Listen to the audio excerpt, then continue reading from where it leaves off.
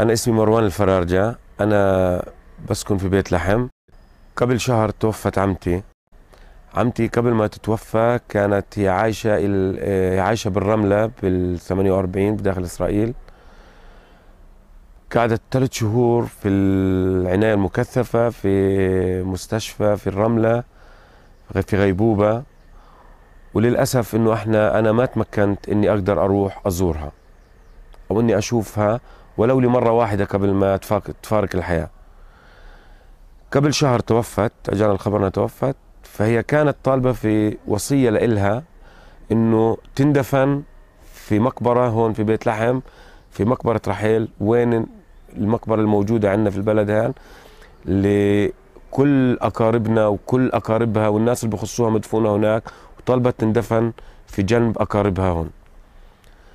في الناحية الدينية أي حدا بطلب في وصيته إنه يندفن في مكان يجب يعني ولازم على الأهل أو أهله أقاربه إنهم ينفذوا له وصيته ويدفنوه في المكان اللي هو بطلب يندفن فيه أو أي وصية بطلبها لازم ننفذها.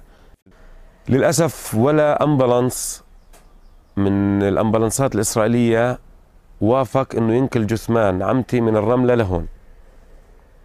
ففي الآخر طلبنا كلنا حاولنا وإحنا نحكي في تلفونات معهم إنه ممكن تجيبوها في ambulance إسرائيلي وعلى الحاجز الإسرائيلي إحنا بنغير ال ambulance فكان في رفض إنه ما بندخل على مناطق السلطة.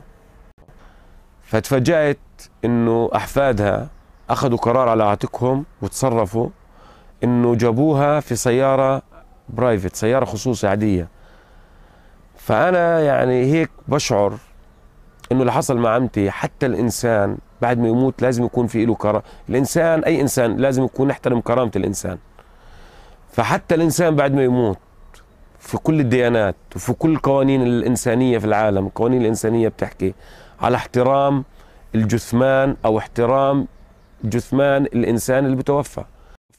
لما شفت عمتي أنا في داخل السيارة العادية الخصوصي إنسان متوفي يكون في سيارة عادية فشعرت بال بالألم العميق. أنا يعني طلبي أو أنا بطلب من أي جندي إسرائيلي على الحاجز الإسرائيلي في هاي اللحظة يترك يعني على الأقل في هيك في هيك حالات خاصة يترك القوانين والأوامر العسكرية والقوانين العسكرية ويبحر على الإشي اللي أمامه الآن. ويشوف شو بوجه اللي بواجهه. في قصة إن كانت مرأة بدها تروح على المستشفى تخلف وقفت على الحاجز الأمبلانس تبعها. أو إنسان مريض بده يروح يعمل عملية في مستشفى ووقف على الحاجز.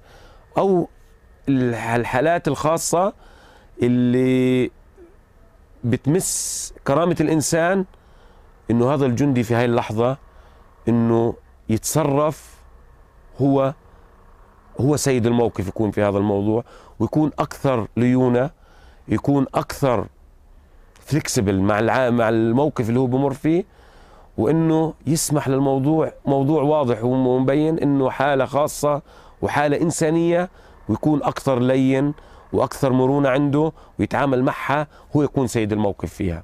ويترك القوانين والقوانين العسكرية المجحفة بحق كل الإنسانية مش بس بحق هذا الشخص. أو هذا الإنسان المريض.